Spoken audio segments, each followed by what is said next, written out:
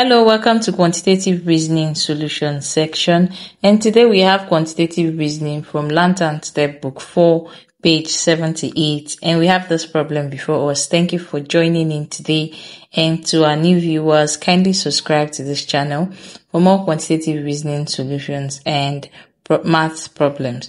Alright, so we have this. We have 64, 36, 14.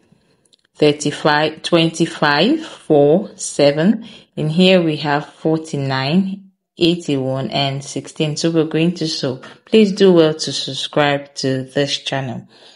Okay, so let's look at it. Let's find 64.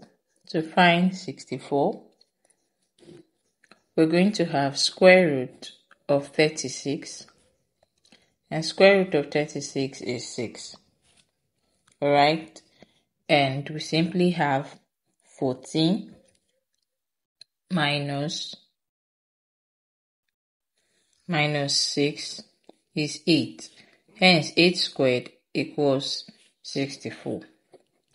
To find 36, we have square root of 64, which is 8, so 14 here minus 8 equals 6 and 6 squared equals 36.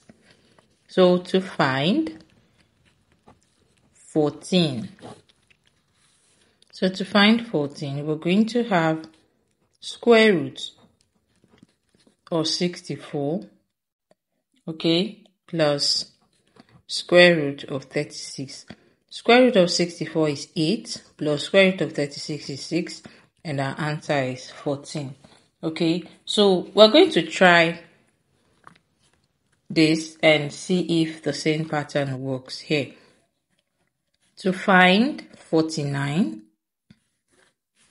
we're going to have square root of 81, which is 9, and 16 minus 9 is 7. 7 squared is 49. 7 squared is 7 times 7. So to find 81, we have square root of 49 as 7 and 16 minus 7 is 9.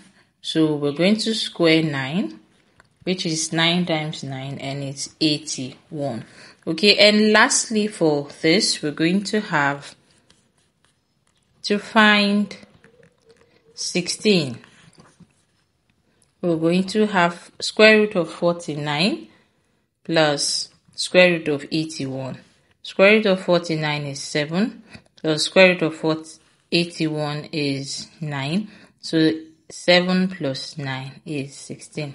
Alright, so do well to subscribe, like this channel for more quantitative reasoning and maths problems and solutions. Bye.